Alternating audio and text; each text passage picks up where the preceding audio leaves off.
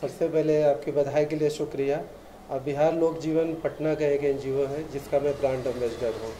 तो इसकी तरफ़ से बिहार गौरव आज एक अवार्ड फ़ंक्शन हो रहा है और उसके लिए बहुत लोगों को आमंत्रित किया गया है। ये ट्वेंटी फ़र्स्ट एनिवर्सरी के अवसर पर किया जा रहा है और आज मेरा बर्थडे है तो 9 सितंबर को मैं कुछ ना कुछ हमेशा करता रहता हूँ।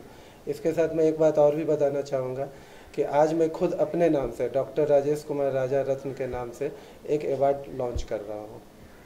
अगर हम सम्मान करने वाले अतिथियों की बात करें हाँ। किन किन किस तरह से वह- उनका सिलेक्शन हुआ है?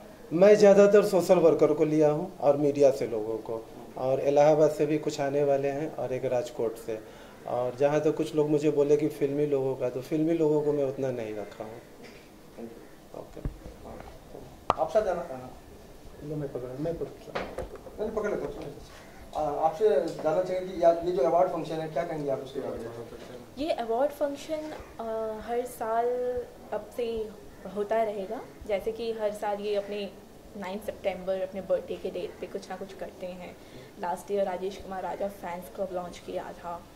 दिस ईयर राजेश कुमार राजा रत्न और बिहार गौरव लॉन्च कर रहे हैं। तो ये सिलसिला now will be keep on going and keep on flourishing बहुत सारे अवार्ड होते हैं। इस अवार्ड को कितना अलग मानते हैं आप? ये अवार्ड अलग है क्योंकि ज़्यादातर अवार्ड हम देखते हैं तो बॉलीवुड या हॉलीवुड से रिलेटेड होता है जिसमें डांस ड्रामा एंटरटेनमेंट एंटरटेनमेंट के लिए होता है। बट ये अवार्ड स्पेशली उनके लिए है जो सोशल वर्क करते हैं। उन वो लोग जिनको हम ज़्यादातर जान नहीं पाते हैं they are not in the entertainment field and basically वो लोगों की हेल्प करते हैं लाइक like, भिखारियों की औरतों की। जैसे मैडम हैं, वो औरतों की हेल्प करती हैं इस एन से। तो ये चाहते हैं कि उन लोगों को हम सामने लाएँ और अवार्ड दें।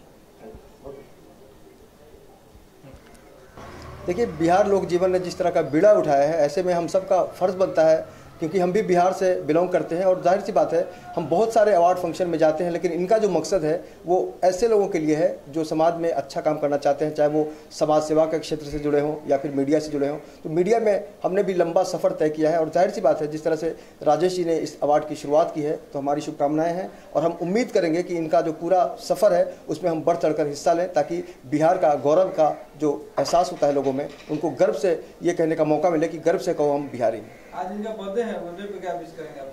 देखिए जब भी हम किसी कलाकार के पास जाते हैं या कोई भी आम आदमी के पास तो उसके जीवन का बहुत ही महत्वपूर्ण दिन होता है जन्मदिन। और हम इस अवसर पर बहुत बहुत शुभकामनाएँ देंगे राजेश जी को और शतायु होने की कामना करेंगे और ये उम्मीद करेंगे कि आप जीवन में ऐसे कई काम करें जिसका ख्वाब लेकर आप बिहार से मुंबई आए हैं। धन्यवाद। ये अवार्ड मिला तो बड़ा मुझे प्रसन्नता है और मैं धन्यवाद दूँगा आप सब मीडिया वालों को और खासकर जो जो संस्था से जो अवार्ड मिला है, राजेश कुमार राजा जी की तरफ़ से, ये बिहार गौरव का और जो आज जो जो फ़ंक्शन है तो मैं इसके लिए धन्यवाद दूँगा। और ये गौरव की बात है कि अवार्ड किसी को भी सम्मानित जब किया जाता है तो उसे मन में प्रसन्नता होती है कि हमारे काम काज को देखा जा रहा है, दुनिया देख रही है, और उसे जो भी है अवार्ड छोटा बड़ा नहीं होता है। ये हर्ष की बात है, खुशी की बात है कि इस लाइन में फ़िल्म लाइन में हमारे मित्र जो काफ़ी अच्छे उनका जन्मदिन भी है। मैं उनको जन्मदिन की बहुत हार्दिक शुभकामनाएँ दूँगा।